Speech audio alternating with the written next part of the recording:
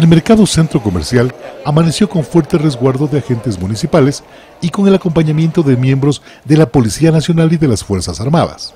No habían vendedores ambulantes los que se ubican en los accesos. Fernando Villagómez, director de Seguridad y Control Público de Loja, dice que todas estas personas han sido desalojadas y se les ha puesto a su disposición espacios interiores que están vacantes para que ahí se ubican y puedan seguir trabajando. En el mercado centro comercial hay 26 puestos para la venta de legumbres y 86 puestos para la venta de ropa. Hay también lugares disponibles en el mercado mayorista y en el pequeño productor. Por comerciantes que estaban prácticamente obstaculizando el tránsito normal, la movilidad de las personas, han sido retiradas, han sido, a ellos se les ha puesto en consideración cuáles son esos espacios para que puedan ser utilizados. Nosotros actuamos en el marco del respeto, en el marco de la consideración para esas personas, porque sabemos también que son personas que cumplen un trabajo, que quieren un trabajo, pero aquí tienen, todos tenemos que trabajar de manera organizada.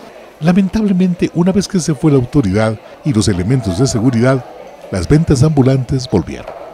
Al parecer, controlar las ventas ambulantes alrededor de los mercados es una tarea bien difícil. Sin embargo, las vendedoras formales, las que están dentro de los mercados, respaldan este tipo de acciones. Porque fuera venden más barato, según más barato, pero las libras venden menos en el caso de los porotos, de las zanahorias, de las papas, todo venden menos. Todo y dan más barato y en cambio aquí damos nosotros la libra completa, pero sí damos un poquito, o sea, lo justo. No se vende nada, aquí solo estamos parados, ya, ya nos da ganas de dejar nosotros también los puestos, nos da ganas de salir afuera igual para poder vender y comer, si no, ¿cómo comimos aquí? Si hablamos donde el administrador dice que ellos no tienen respaldo del señor alcalde, que la culpa es del señor alcalde. Los señores municipales también, ¿qué dicen? Nosotros les dijimos que, que por lo menos nos manden arriba, porque ellos tienen arriba, toditos tienen puesto.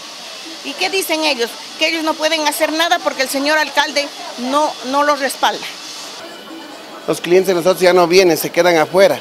O vienen de afuera con las cosas que, digamos, lo que no hay afuera, vienen a comprar acá adentro. Lo que no hay afuera. Mire, uno se le dio el voto con el fin que haga algo. Todos necesitamos comer, todos necesitamos trabajar, pero ordenadamente. No quieren, ellas quieren estar como floreros afuera y ellas son las que venden más. Dice que ellas se ganan 50, 40 dólares. Son una caja de, de manzana 15 días, 8 días. Esas medidas de reubicación ya se las ha intentado antes y sin éxito.